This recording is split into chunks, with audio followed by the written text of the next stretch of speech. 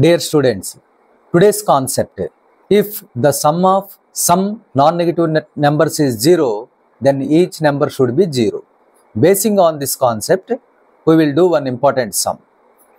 You see, suppose one equation given algebraic equation.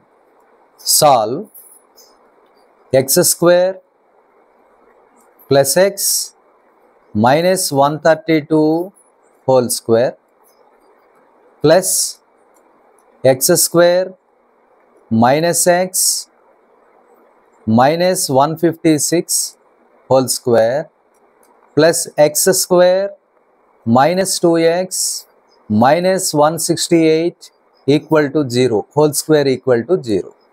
This one we have to solve. It seems to be very difficult. Why? Because here quadratic equation whole square is there. So, you will get a fourth degree equation. While solving fourth degree equation, so many things we have to use. But the concept is here, the sum of some non-negative terms are 0, then each number will be 0. You know that the square of any real number is non-negative. So, here three terms are there, all the terms have whole squares, so all the three terms are non-negative. So, this implies first term x square plus x minus 132 whole square equal to 0 therefore that equal to 0 and second one x square minus x minus 156 equal to 0 third one x square minus 2x minus 168 equal to 0 now you can solve by using splitting middle term.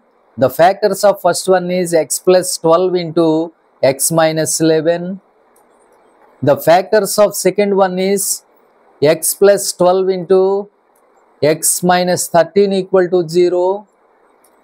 The factors of third one is x minus 40, x minus 14 into x plus 12 equal to 0.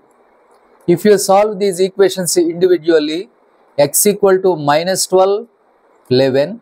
Second one, x equal to minus 12, 13. Third one, x equal to minus 12, 14 but all should be 0 that's why your answer will be x equal to minus 12